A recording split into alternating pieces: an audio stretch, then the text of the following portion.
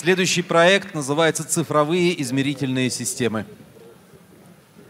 Давайте поприветствуем Владимира, который нам расскажет об этом. Здравствуйте. Меня зовут Лебедев Владимир.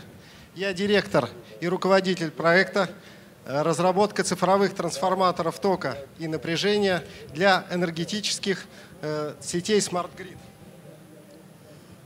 Мы пред, э, сейчас... Микрофон для, поближе, Владимир, поближе э, микрофон. Сейчас для измерения токов и напряжений в энергетике используются аналоговые трансформаторы, точность которых недостаточна.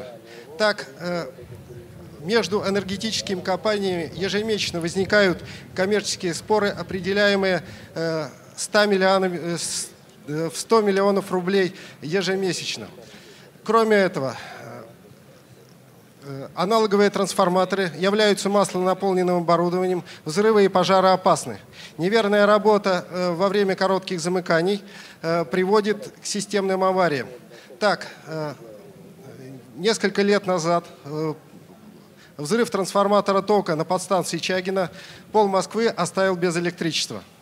Кроме этого, аналоговые трансформаторы не вписываются в технологию сетей Smart Grid. Что мы предлагаем? В верхней части трансформатора расположить наши уникальные измерительные, э, измеритель, нашу уникальную датчиковую систему. Э, от нее оптическим каналом передавать информацию на щит управления в цифровой форме – Таким образом, мы исключаем масляную изоляцию, заменяем ее твердым диэлектриком. Э, такая технология позволит в 4 раза увеличить точность измерений, полностью исключить возможность взрыва. Э, кроме этого, мы получаем полностью совместимую технологию э, с цифровыми сетями, сетями Smart Grid. А также исключаем возможность, уменьшаем, уменьшаем стоимость обслуживания за счет внутренней диагностики. Нашими конкурентами являются иностранная компания Alstom. Кроме этого, в России сейчас аналогичную, э, аналогичную технологию внедряет фирма Profotec. Они внедряют э, транс, оптические трансформаторы, э, отличающиеся э, на другом физическом принципе и представляющие собой сложную технологию. Э, Наши преимущества заключаются все-таки в точности измерений и в стоимости э, самих трансформаторов э, в полтора-два раза, начиная с напряжения 220 киловольт и ниже. Э, потребителями трансформаторов тока являются энергетические компании, генерирующие компании, э, электрические сети. Оценивая рынок, можно сказать, что если мы займем 10% э, от этого рынка, то фирма будет получать полтора миллиарда рублей ежегодно.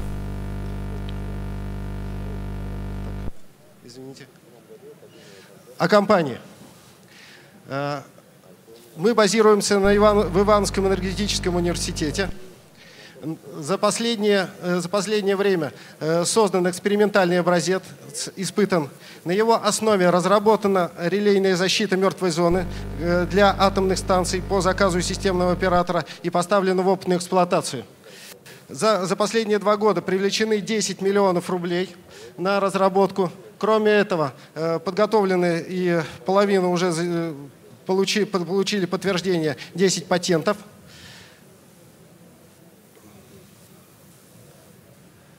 Что нам требуется?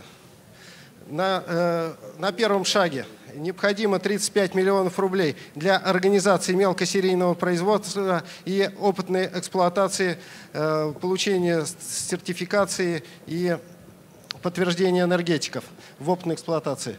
На втором этапе 135 миллионов рублей требуется для э, запуска серийного производства тысяча и более штук. Э, на данном плакате Время. наши... Отрадно, что все успевают сказать, сколько им нужно денег. Остается только надеяться, что в аудитории эти деньги найдутся. Спасибо, Спасибо большое. большое.